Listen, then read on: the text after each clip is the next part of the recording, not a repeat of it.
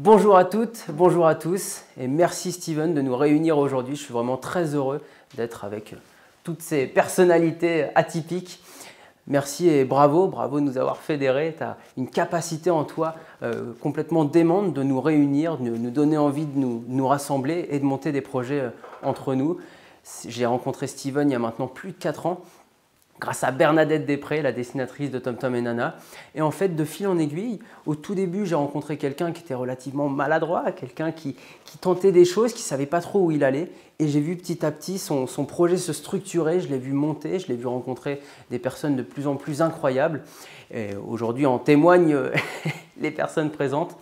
Et c'est vraiment incroyable parce que Steven a cette pugnacité, cette capacité, quand il a un objectif en tête, à y aller, à se jeter à l'eau, même si en, apparence ça peut paraître très, très délicat. Et c'est là qu'il est très inspirant, qui, nous élève et qui nous donne envie de nous, dépasser et de, de réaliser l'impossible, j'ai envie de dire. En fait, il a une capacité à partager qui est très très forte et c'est là qu'on s'est réunis, parce que moi aussi j'aime bien rencontrer du monde, notamment chez, chez l'habitant.